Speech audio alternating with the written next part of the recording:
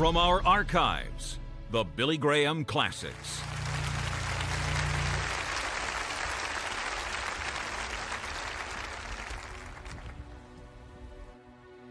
Pilate asked the question, What is truth? And truth, not facts, are what we're talking about tonight, and there's a difference. Facts are not necessarily the truth, they're the best we know at the time. But today's newspapers, I mean this day's newspapers, reported that public confidence in the leadership of our major institutions, such as the media, education, banking, government, the military, medicine, business, has sunk to the lowest in at least a decade. And every institution today is under attack in our country the home, the church, the government. And many people are asking, what is the truth? They're asking, what is the truth about the airliner that was downed off the coast of Japan? And inside the pages of the Bible are stories of lust and hate and war and crime as bad as anything that we read in history. It's called the Holy Bible. It's holy because it tells the truth. It tells the truth about God, about man, about the devil. But Satan has caused a credibility gap to be established. Our magazines are filled with stories of Satan worship. Satan has his disciples, demons, sorcery, witchcraft, and wizards are front page news today. And the devil and his legions seem to be gathering steam for the last great conquest of this earth. Now, Jesus wasn't afraid to call him what he was. Jesus called him a liar and the father of lies.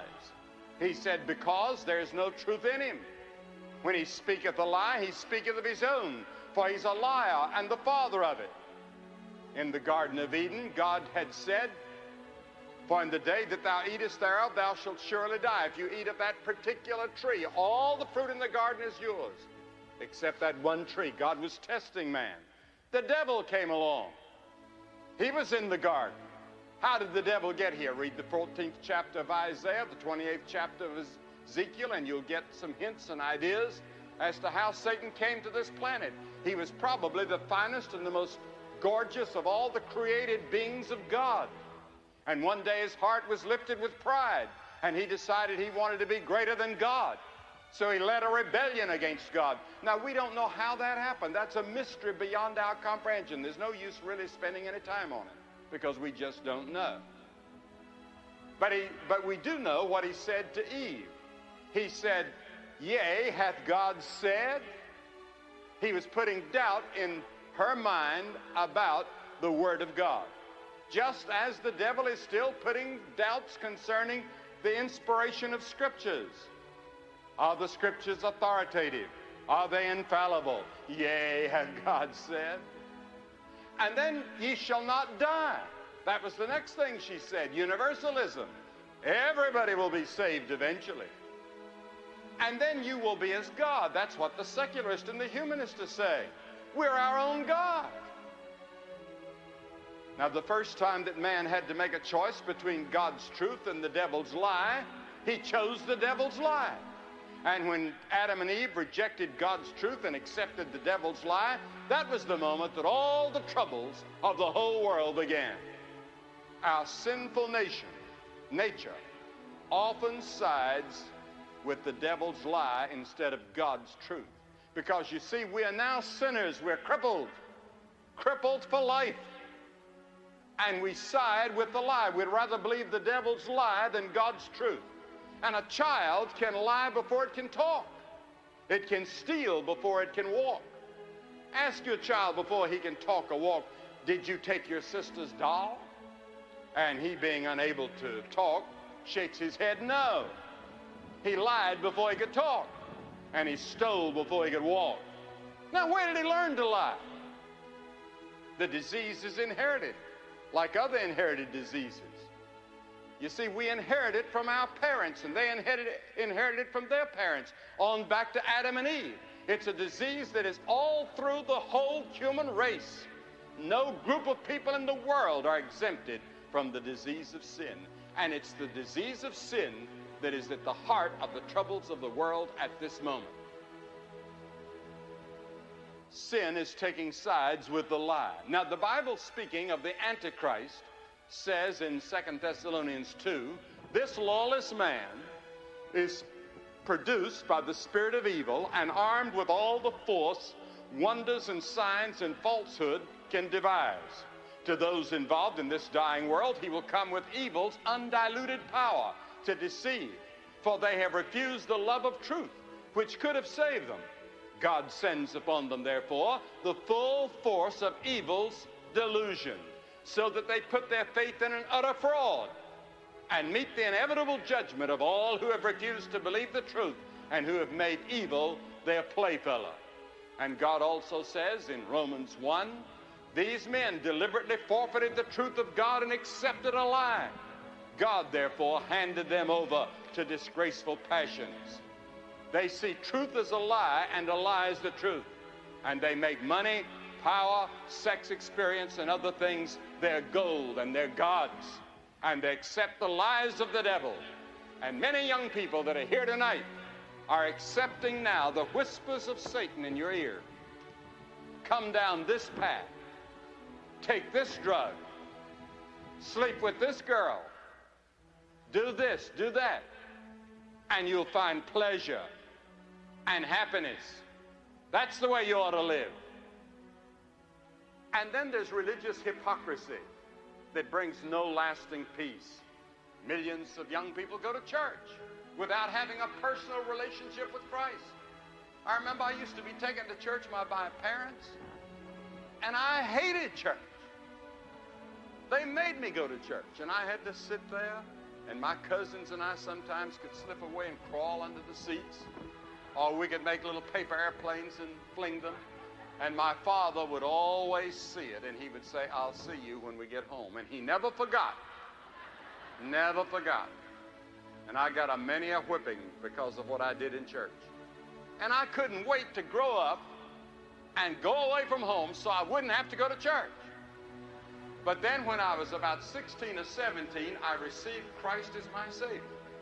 And I went back to church, and the next Sunday I told my parents, I said, You know, Dr. Lindsay certainly is preaching a wonderful sermon. He's learned something from this evangelistic campaign in our city.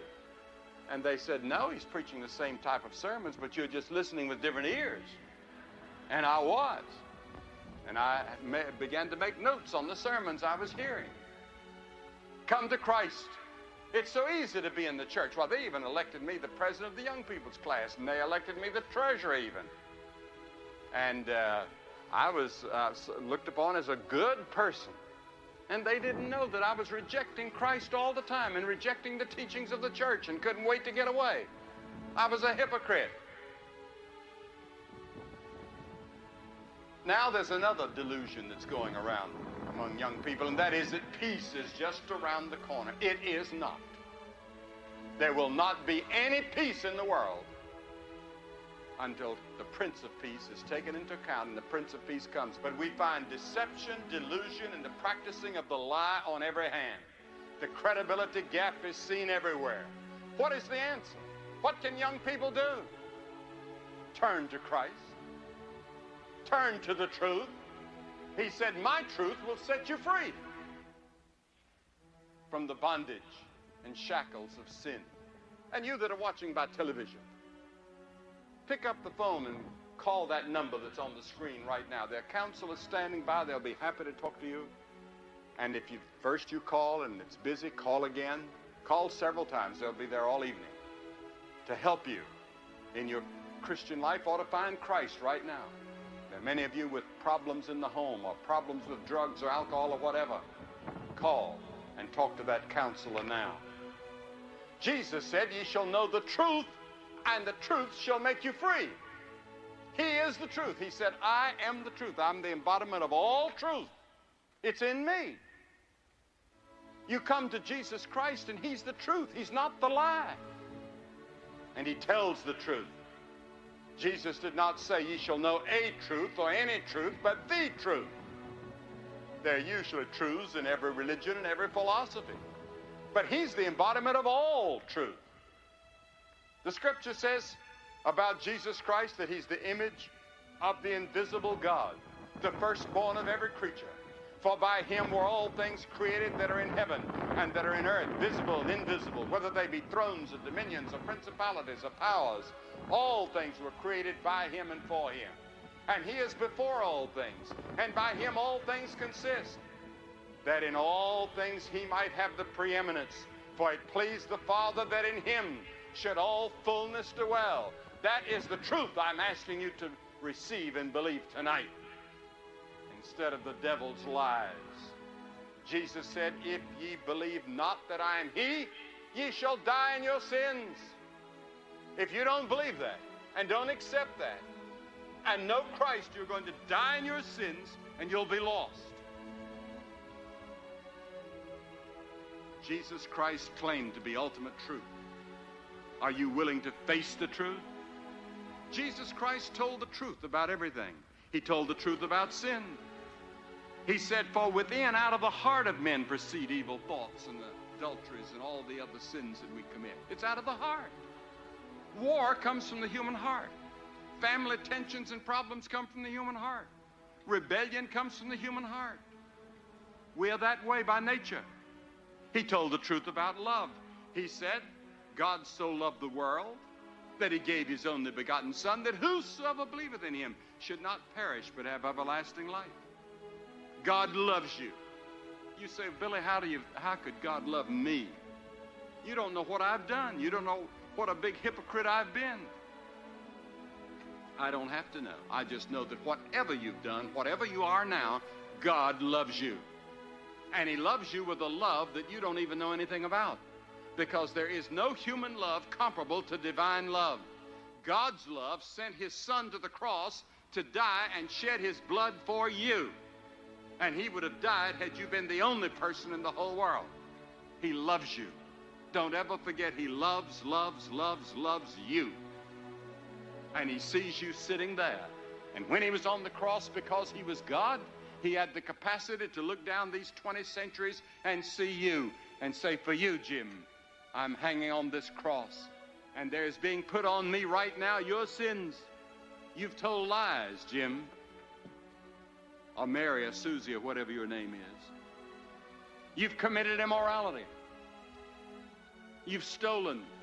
You've been a big hypocrite. You've listened to the devil. You've done all those things. Well, let me tell you, Jim, Mary, Susie, your sins right now are being put on me. I'm dying for you. I'm taking your judgment and your hell on me now. And I'm going to stay on this cross. I could come down and you could go to hell but I love you too much. I'm going to stay here and die for you. And that's exactly what our Lord Jesus Christ did. And God raised him from the dead, and he's alive. And so I do not preach to you a dead Christ hanging on a cross. I preach to you a risen Christ who's alive tonight and who is coming back.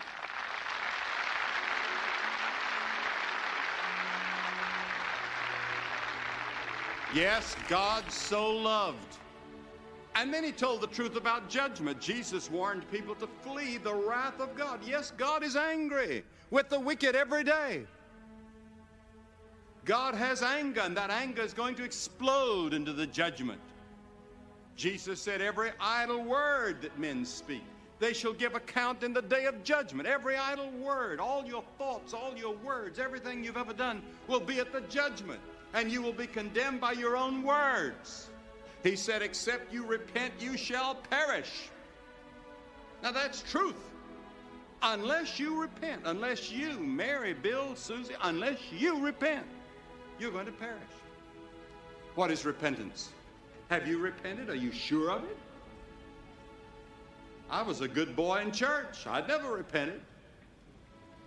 I might have said something to the elders when they uh, met with me to see if I was okay to join the church at 12. I didn't know what they were even talking about. I'd memorized the catechism. I couldn't understand it. It was just some memory of things for me. I hadn't really repented because repentance means that I change. I change my mind about God, about myself, about my fellow man. I change my way of living.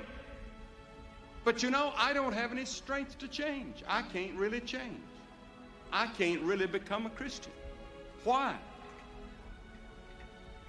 Because I'm dead in trespasses and in sins. God has to help me change. He has to help me repent. And I say, Oh, God, help me to repent. And then the second thing not only do you have to repent, but by faith you must receive Christ into your heart as Savior and Lord. And Jesus told the truth about conversion. He said, He indicated you cannot be born into the Christian faith. You have to be born from above, born again. And the process is called conversion, which includes faith. And Jesus said, Except ye be converted and become as little children, ye shall not enter the kingdom of heaven. In other words, he's not telling the ad, he's not telling people to become like adults. He's telling us to become like little children and have childlike faith. Some people try to enter the kingdom of God head first. They want to understand it. But you can never understand it all. There are many things in the Bible I don't understand. You come by simple faith like a little child trusts its mother and its father and you put your total confidence in Jesus Christ by faith. Have you done that? Repent, receive by faith, and then obey Him, live the life, follow Him, serve Him, whatever the cost. And it's costly. Let's face it, in the world in which we live, if you hold on to Christian values and you live up to moral standards laid down by Christ, it's going to cost you. It'll cost you some friends. It'll cost you some money. It'll cost you a lot of things and certain pleasures of the world. It'll cost us. And sometimes I have a hard time deciding on some things. Whether I should have this or have that, whether I should go there or go here. Because we live in a confused world. Satan has confused us. And no longer do we even hear many sermons on being separated from the world. What does it mean to be separated from the world? The Bible says, Love not the world, neither the things of the world. If any man love the world, the love of the Father is not in him. The world and the lust thereof shall pass away, but he that doeth the will of God shall abide forever. I remember preaching sermons on that and hearing sermons on that years ago. Separated from the sins of the world, having our own lifestyle, having our own Christian culture. Where is it? We somehow think we can hold hands with the world and make it to heaven. We somehow think we can have our one foot in the world and one foot in heaven and we're going to make it. We won't. So there's repentance, there's faith, and there's obedience. Following Christ, even to the death. He said, even to the death of the cross. Are you willing to do that? Ye shall know the truth, and the truth shall make you free. Every day, newspapers, radio, and television tell us of demonstrations and marches and protests and bombings, all of which are designed to gain some sort of freedom. A little baby, for example, may scream and cry and wave its arms and legs trying to be free, but without restraint and care, it would soon be dead. I read about a baby. I think it was locked in a car. I don't know if it was here in Sacramento, it was here in California in all this heat. And the mother went into the store and she was only gone a few minutes and she came back and the little baby had suffocated. Baby needs care. A teenager rejects his parents in search of freedom and soon finds himself dependent on some drug or on some gang. Thousands of laws indicate that we do not have total freedom. Jesus said he would give you total freedom, spiritual and moral freedom, and ultimately freedom from the very presence of sin when we get to heaven. Pope John Paul gave a message last week in Austria on the prodigal son. And we have just made a, a, motion picture, by the way, on the prodigal that's being released just about now throughout the country. And I hope you'll see it. It's the best picture we've ever made, and we've been making them for 30 years. But the history of mankind, he said, is the history of the misuse of freedom. The history of mankind is the misuse of freedom. Jesus will teach us how to use our freedoms for the glory of God. and will bring fulfillment in our lives. Before you come to Christ, you're a slave of sin. No other truth can free you. Scientific truth can't free you. Mathematical truth or philosophical truth will not free you. Suicide will not free you. That only kills the body, it doesn't kill the spirit of the soul. Zacchaeus was freed by Christ from greed, and Mary Magdalene from lust, and Peter was freed from his cowardice. Christ's truth makes you free, free from the penalty of sin. You'll never have to go to hell. You'll never face the judgment. Freedom someday from the presence of sin. Freedom from the power of sin now. Sin shall no longer have dominion over you from right now on if you come to Christ. Right now, the devil snaps the whip. You obey. You're his slave. You don't think you are, but you are.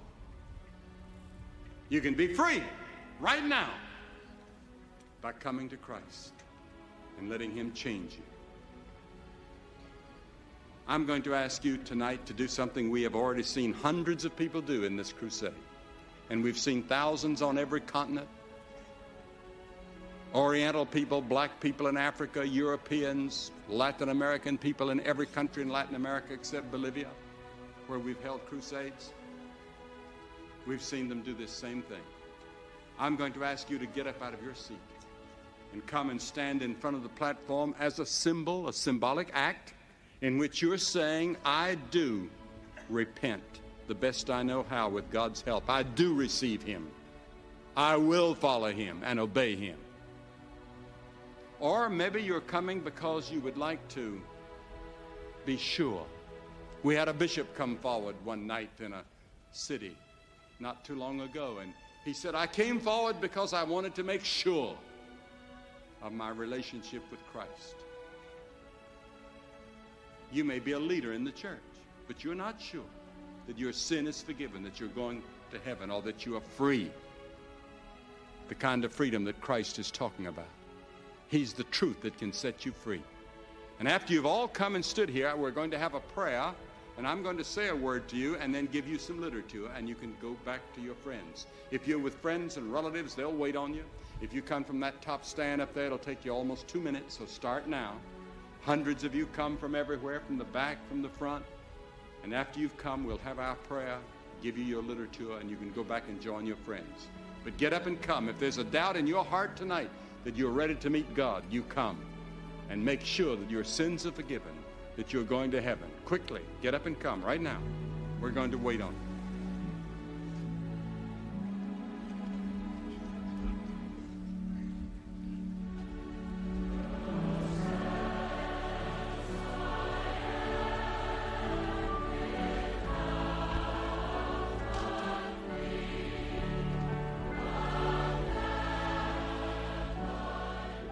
Hundreds of people are responding here tonight, you can call the number on your screen, where people are standing by ready to talk to you to help you with your spiritual needs and problems. Write the number down. If the line is busy, wait a few moments and call again.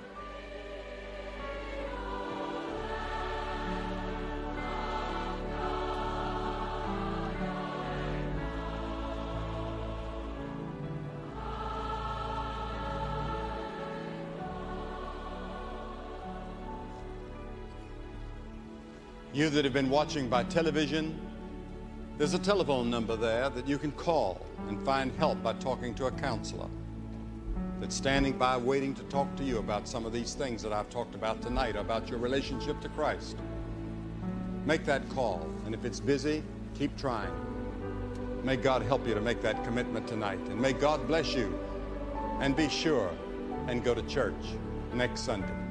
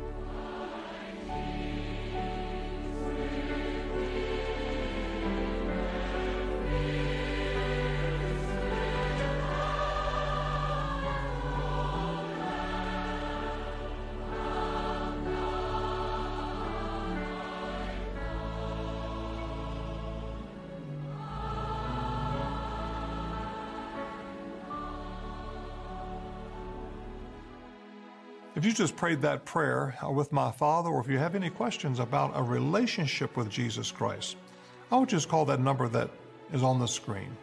There'll be someone there to talk with you, pray with you, and answer those questions. And remember, God loves you. If you would like to commit your life to Jesus Christ, please call us right now toll free at 1 877 772 4559. That's 1 877 772 4559. Or you can write to us at Billy Graham, 1 Billy Graham Parkway, Department C, Charlotte, North Carolina 28201.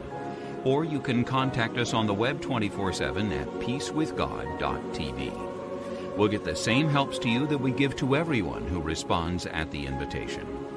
On behalf of Franklin Graham and the Billy Graham Evangelistic Association, thank you for watching and thank you for your prayers. From our archives, the Billy Graham Classics. My message is going to be brief, and my text is going to be Luke, the 23rd chapter, beginning at verse 42. Remember me when thou comest into thy kingdom. And Jesus said unto him, Verily I say unto thee, today thou shalt be with me in paradise. The greatest and most historical event of all of history was when Jesus Christ died on that cross. And when Christ died on the cross, the lightning flashed, the thunder roared, the darkness came as the nails had gone into the hands of Christ and a spear had gone into his side and the nails through his feet. And Jesus was hanging between heaven and earth, suffering for us. The soldiers had taken him out of his prison and they'd put a crimson robe on him. They'd beaten him two or three times. And then they took two or three murderers with him, two of them in particular, who were going to be crucified with him.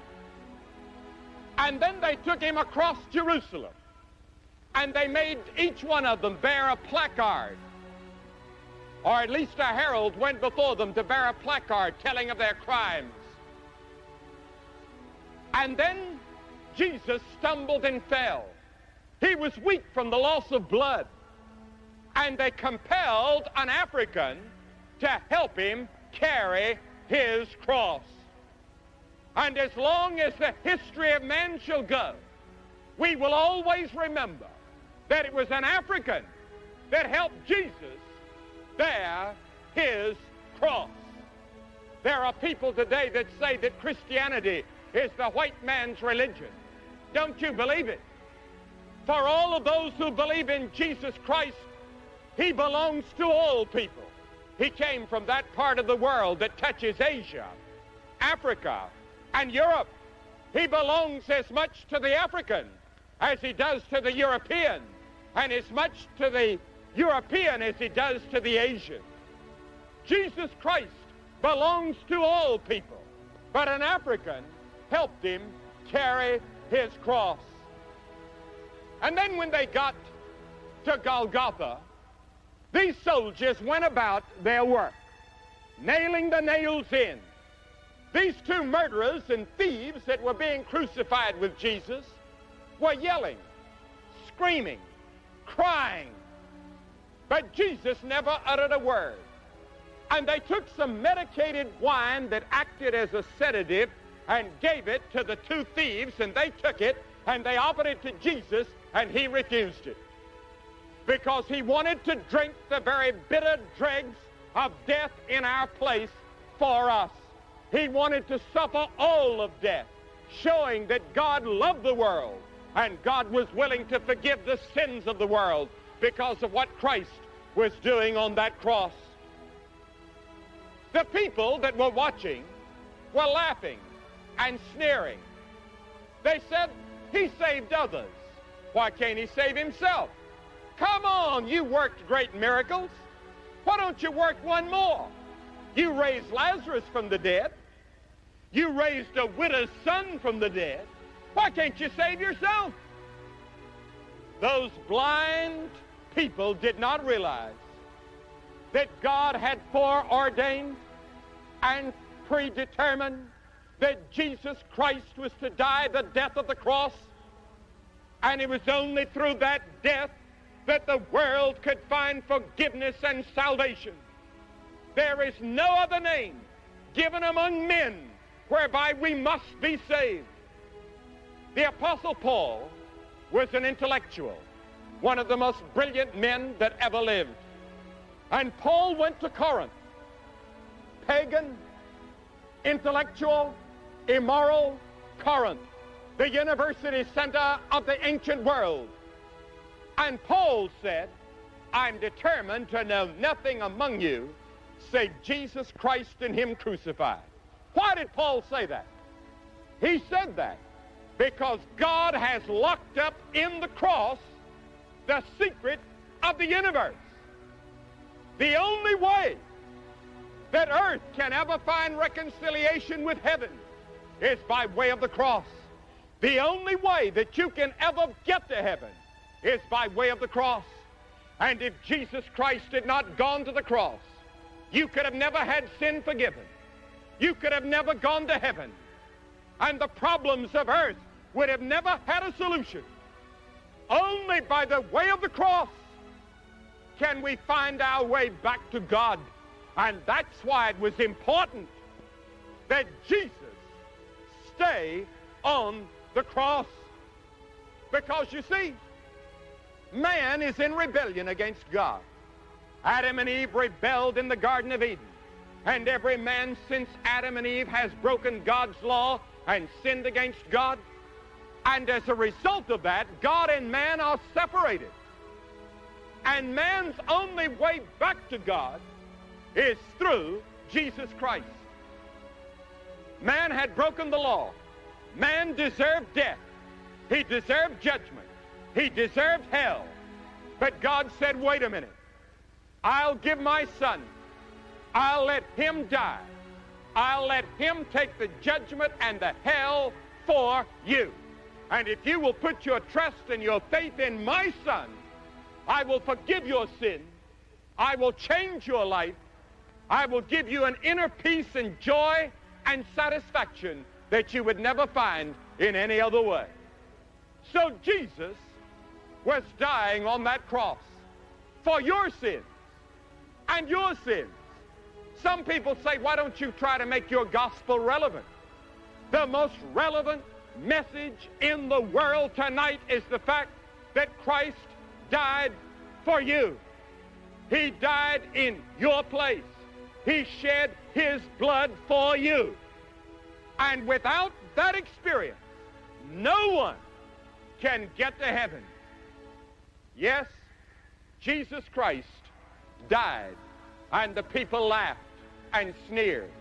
And two people that sneered and laughed the most were these two thieves and murderers that were dying with him. They were both mocking him. But one of them became strangely silent.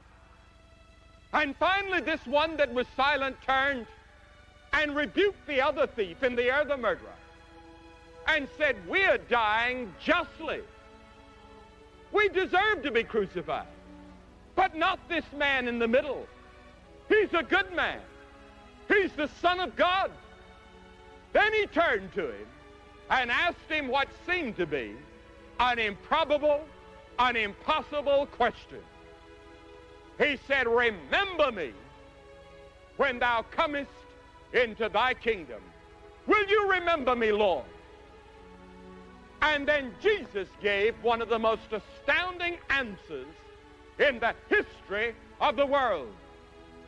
The angels in heaven must have been shaken and startled and amazed when they heard what Jesus answered.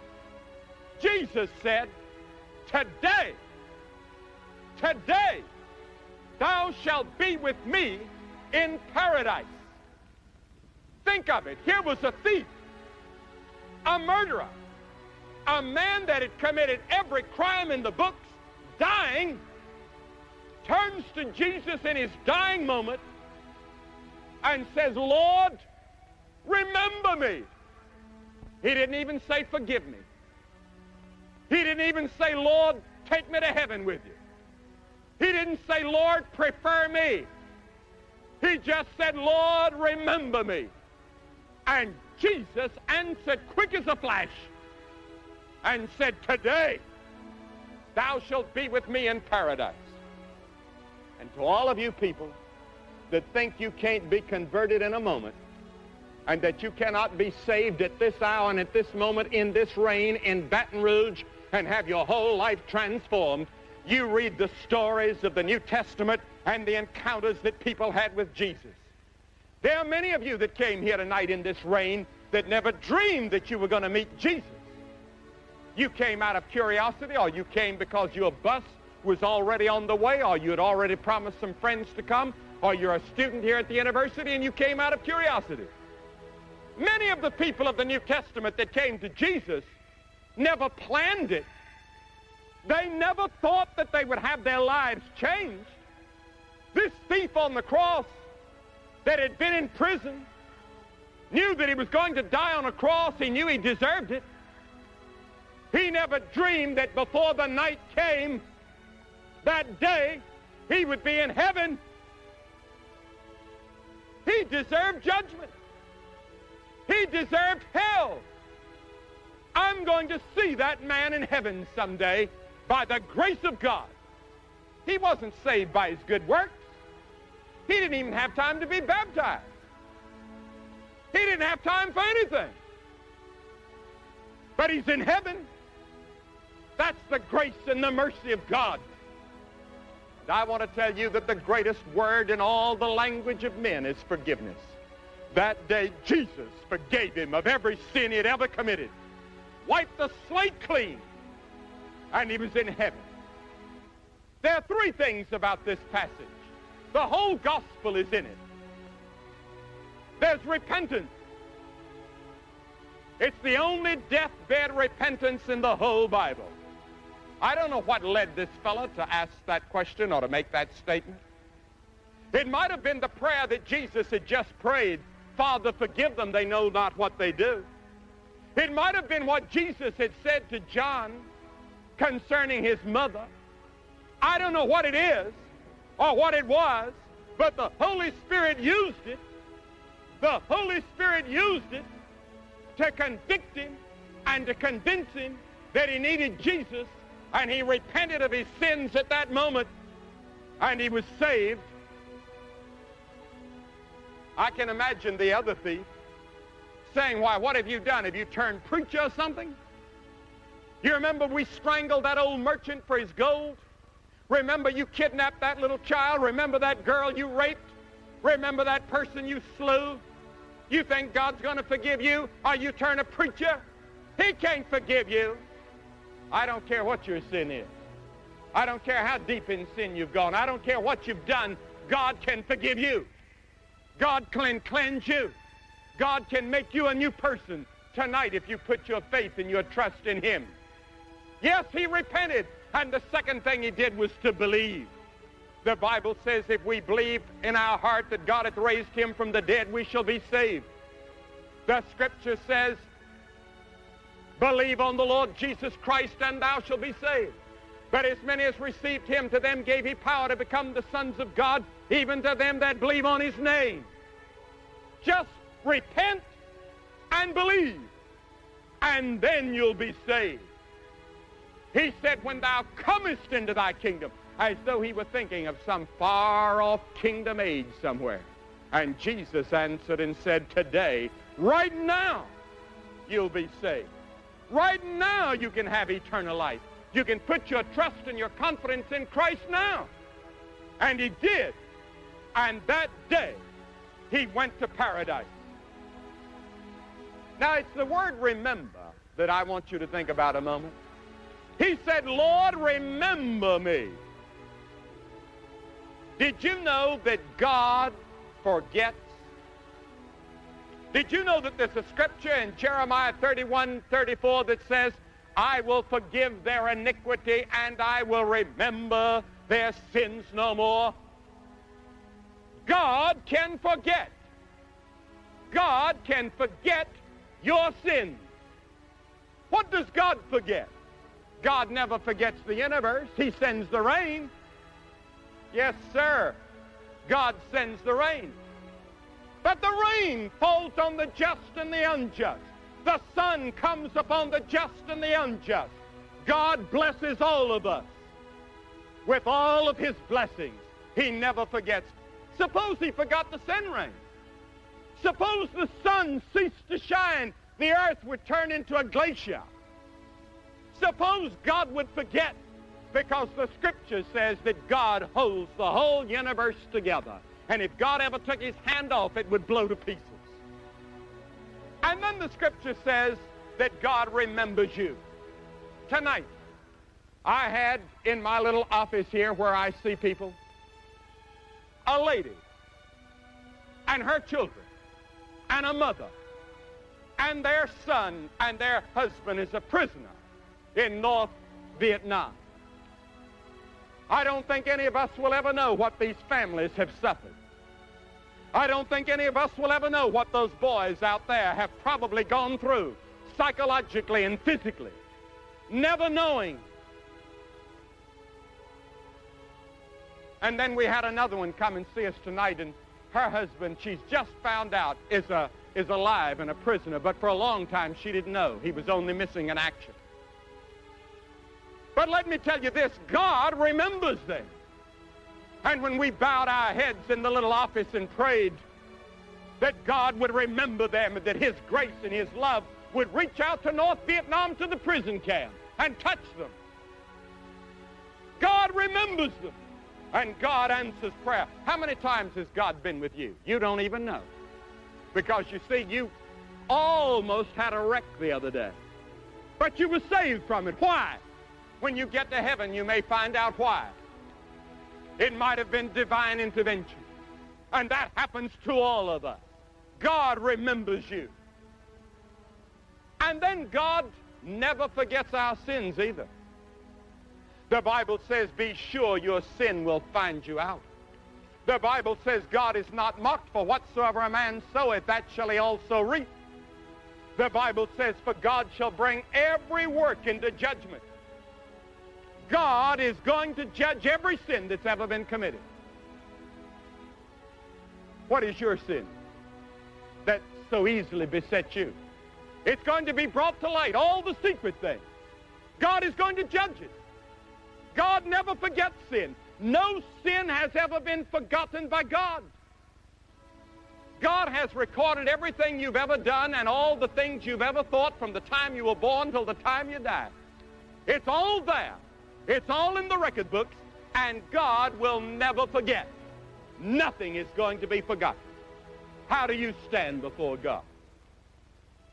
But there's one thing God can forget. He can forget sin because of Christ. The Bible says in 2 Corinthians 5.21, He hath made Him to be sin for us. It says in Isaiah 53, the Lord hath laid on Him the iniquity of us all. It says in 1 Peter 2.24, who his own self bare our sins in his own body on the tree. The scripture teaches that God can forget our sins because of Christ. The sin that would damn us, the sin that would send us to judgment, the sin that would send us to hell, God can forget. In Hebrews 1.3 it says your sins are purged. In Isaiah 43, it says your sins are blotted out. In Psalm 103, it says your sins are put away. Isaiah 38 says your sins are put behind his back. And in Hebrews, it says God can remember your sin no more. Ladies and gentlemen, because Christ died, because he rose again, because of what he did, God cannot remember my sins. I've committed plenty of sins in my life. And even if I'd only committed one sin in my whole life, it's enough to cause me to go to the judgment and be lost. Because I could keep the whole law and yet offend in one point, and I'd be guilty of all. But God has forgotten my sin. He forgot every sin that I have ever committed. Everyone he has forgotten. He's the only person in the whole universe that can forget. He has the ability to forget. Has he forgotten your sin? Have you brought your sin and laid it at the feet of Jesus? What a night to give your life to Christ. You may never have another moment like this. The Bible says, He that hardeneth his heart, being often reproved, shall suddenly be cut off, and that without remedy. You've sat here for over two hours in the rain. Many of you are soaked all the way through. And you've done it because you want your sins forgiven, many of you, and others of you have sat here because you're praying for somebody that needs Christ. And this is your hour and your moment, and it may never come again like this. I'm going to ask you to do something that I saw people in London do. I saw people in San Diego do. I saw people in Pittsburgh do. I'm going to ask scores of you to get up out of your seat right now and come across this field in the rain and stand here and by coming say, I want Christ in my life. I want my sin forgiven. I want to know I'm going to heaven. I want to know that I will not be at the judgment in that final day. I want my life transformed by the power of Christ. I'm going to ask you to come right now, men, women, young people. God has spoken to you. You need Christ. And in a moment like this, you'll never forget it. I met a missionary out in the Far East a few months ago.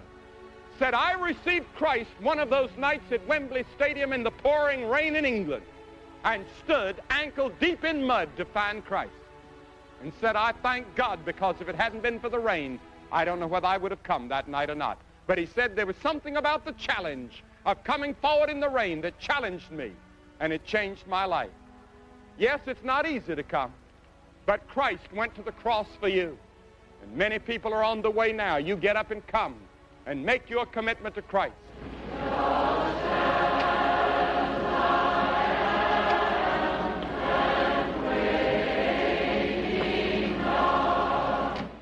As hundreds are responding to Mr. Graham's invitation to make a public commitment to Jesus Christ, you can make that same commitment right where you are.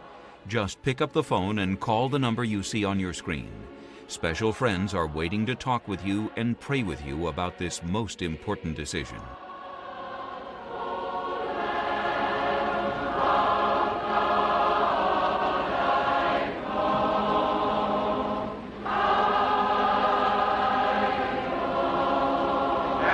Say a word to all of you that have come.